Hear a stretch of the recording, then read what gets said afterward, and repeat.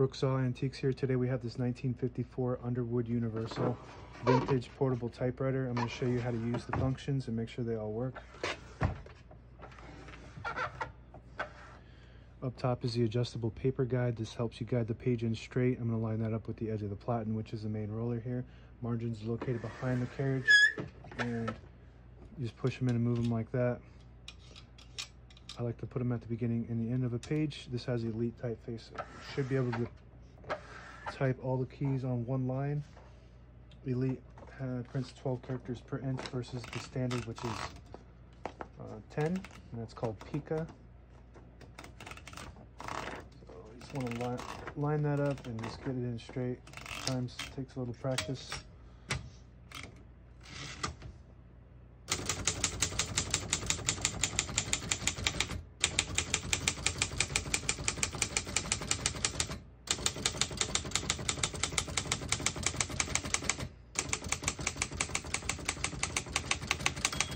Once you hear the bell, you're at the end of the margin. You hit the line space, get you back to the beginning. It skips one, two, or three. Right now we have it on single, but if you want double, there's a switch underneath the knob here. You flip it down one, skips two, flip it down again, skips three. That works good. We're gonna keep it on single and finish typing. I was actually able to type all the keys on one line because of the Elite typeface which prints 12 characters per. So now I'm going to type a sense in red on the next line by switching this down to the red dot that prints the bottom portion of the ribbon.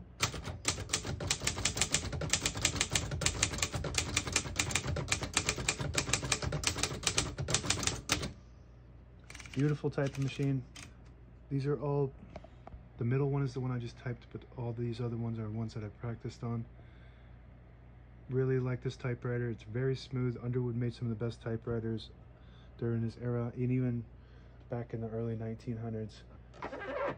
But this model is very unique because it's got that 1950s style that you don't ever see. It's very popular now. Sorry for the screeching. These um these foot mounts are just really they actually feel brand new almost. So I don't know if those were replaced recently, but they're not worn at all. So they squeak a little bit. To pull the page out easy is a switch on the right side. You flip it forward and it unlocks the rollers underneath the platen, allowing you to pull the page out easier, load thicker paper like carbon copy or cardstock. Make sure you flip that back before you load the next page or else it won't load correctly. Backspace on the top left, that works good. A shift on each side and a shift lock on the left. To clear that, just hit the shift button again. Open the hood. All the brand new ribbon is loaded on the right side, so it's pulling to the left. And if you want to switch the direction, there's a little knob here. You flip it to the back and you can wind it too and it pulls to the right when you flip it to the back pulls to the left when you flip, flip it to the front. We want to keep pulling to the left. That works good. Also there's a touch control in here. So you flip that all the way up. This creates more tension. When you hit the keys you got to hit them harder but they respond faster. When you have it low you don't have to hit the keys as hard to get them to print but they don't respond as fast. So more experienced typers will like that on high.